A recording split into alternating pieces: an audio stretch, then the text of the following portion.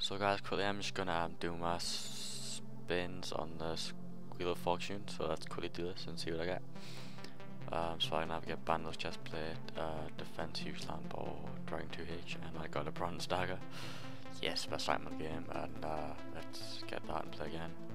So I could have get ZGS, Bandos tassets or huge lamp of uh, Woodcutting and I got a sardine.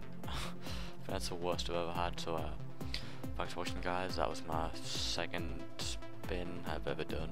Well not I've done but like I've recorded so thanks for watching uh, I'll do tomorrow's as well so uh, see you later guys. Bye